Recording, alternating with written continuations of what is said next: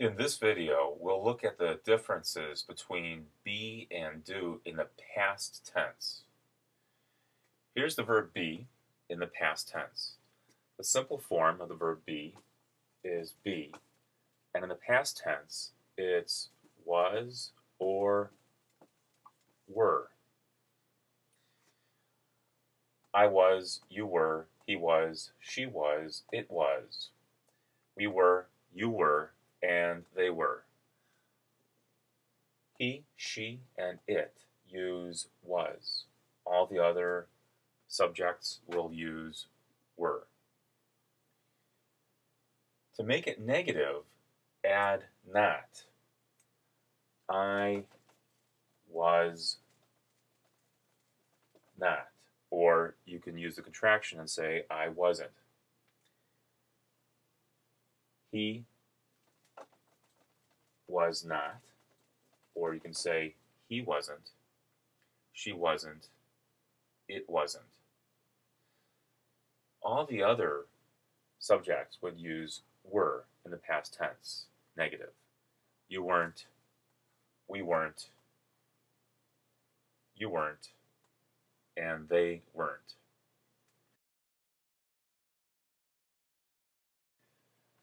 On this side, all the other verbs in the past tense add ed to make the past tense.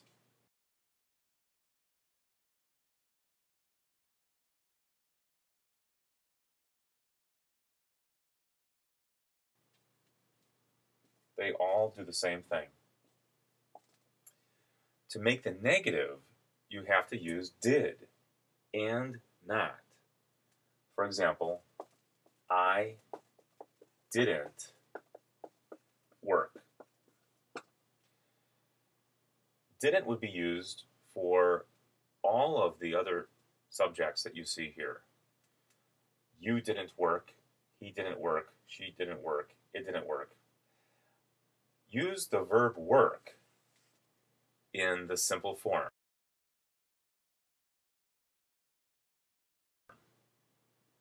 The simple form of the verb work is work, and the past tense is worked. Work is a regular verb. That's why it adds ed in the past tense.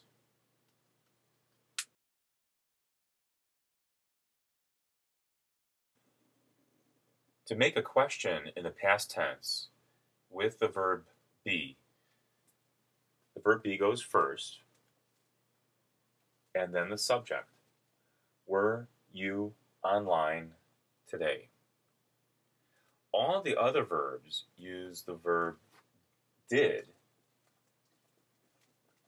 and then the subject, and then the main verb.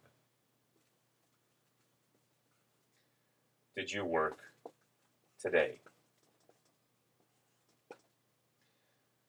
Here's the helping verb, or you can call it the auxiliary verb. This is the subject, and this is the main verb. Over here, this is the main verb. This is the verb be, and this is the subject. To make a question here, in the past tense, you only use the verb be all the other verbs require two verbs, a helping verb and the main verb.